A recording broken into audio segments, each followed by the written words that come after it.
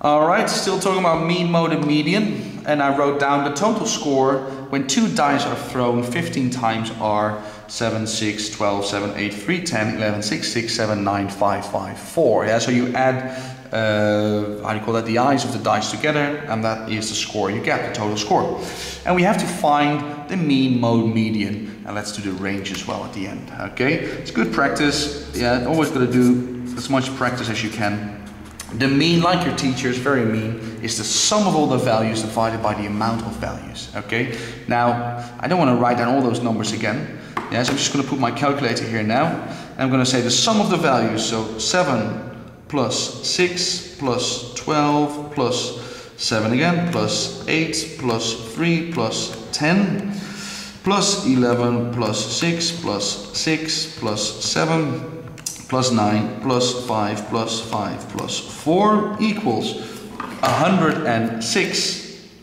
That's what my calculator says. I'm going to write it down. Divided by 15, they say. Let me just check that. 1, 2, 3, 4, 5, 6, 7, 8, 9, 10, 11, 12, 13, 14. Indeed, 15 rolls.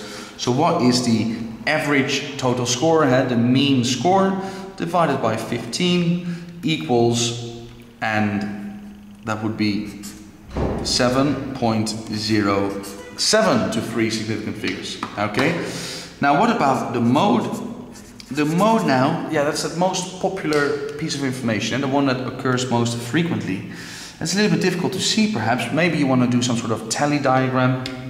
Uh, but let me see, I see some sevens. Uh, let's have a look. One, two, three, three sevens. So I'm just going to put it here on the side. Three times seven. Do we have anything else, oh really, six, one, two, three, three times a six, okay, so they are equal now. What about a 12? Only a 6 and a 6 can be a 12, eh? so no. What about the 5s? I see two 5s here, but no other 5s. No, so the mode in this case um, are 7 and 6, so I have two modes, which is perfectly normal. Why? Because they both occur three times. Now the median, now also with 15 rolls, that is a little bit of a job there because what do you always have to do? You have to put them in order first, yeah? But sometimes that's life, you just gotta do it. So I start with the smallest, a 3. Let me just put a line through it so I know I've got it. Then I have a 4. And then I have 5, 5, 5, 5. And then I had those sixes, eh? 1, 2, 3 a one, two, three, and then I had three sevens, one, two, three, let me get rid of them, one, two, uh, three, then I have an eight, an eight, and then I have a nine, 10, 11, 12, 10, 11, 12.